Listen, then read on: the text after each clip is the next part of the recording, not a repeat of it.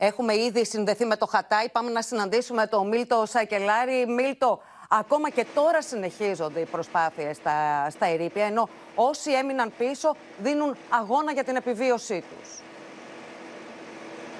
Ακριβώς έτσι είναι, Ματίνα. Εδώ στο Χατάι συνεχίζεται η μάχη, τουλάχιστον σε αυτό το σημείο στο οποίο βρισκόμαστε, γιατί στα υπόλοιπα στα οποία έχουμε πάει σήμερα δεν έχουμε δει σωστικά συνεργεία. Εδώ λοιπόν, όπως θα δείτε, έχουμε μια οκταόροφη πολυκατοικία η οποία κατέρευσε. Εδώ λοιπόν, πριν από λίγες ώρες, θα βοηθήσω τον Μάκη τον Αβραμίδη να περάσει από αυτό το σημείο. Κατέβηκαν ε, οι διασώστες σε αυτό το σημείο προς τα κάτω και πέρασαν προς τα μέσα και προσπαθούν να ψάξουν για να βρουν ίχνος ε, ζωής. Είχαν ακούσει πως. Ε, είχαν ακούσει κάποιες φωνές κάποια, κάποιον να χτυπάει κάποια αντικείμενα, δεν μπορούν να ξέρουν τουλάχιστον για την ώρα τι ήταν αυτό. Επομένως, στα δεξιά δούλευε νωρίτερα η μπουλντόζα, έχει σταματήσει όπως ε, βλέπετε.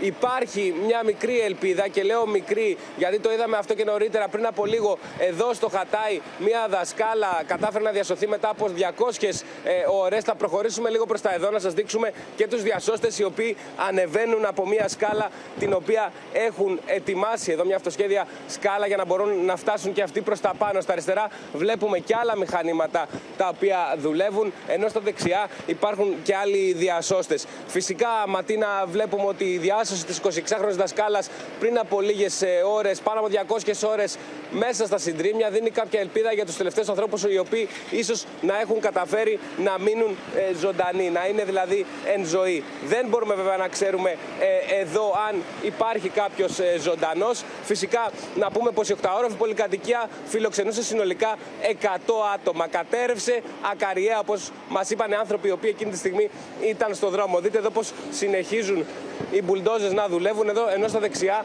υπάρχουν και πάρα πολλοί ε, διασώστες οι οποίοι παραμένουν εδώ και είναι έτοιμοι να επέμβουν ανα πάσα ώρα και στιγμή. Υπάρχουν φυσικά και ασθενοφόρα τα οποία είναι εδώ και στο βάθος φυσικά είναι το ανθρώπινο δράμα. Το ανθρώπινο δράμα Ματίνα το οποίο συνεχίζεται εδώ, θρήνος, απελπισία και απόγνωση. Αυτοί οι άνθρωποι περιμένουν τους αγαπημένους τους και φυσικά έχουν ανάψει φωτιές για να ζεσταθούν. Αυτοί οι άνθρωποι λοιπόν μένουν εδώ 24 ώρες το 24ωρο και δεν αποχωρούν. Αναζητώντας ένα ακόμα θαύμα στα ερήπια των ε, κτηρίων, ε, ψάχνουν για τους αγαπημένους τους.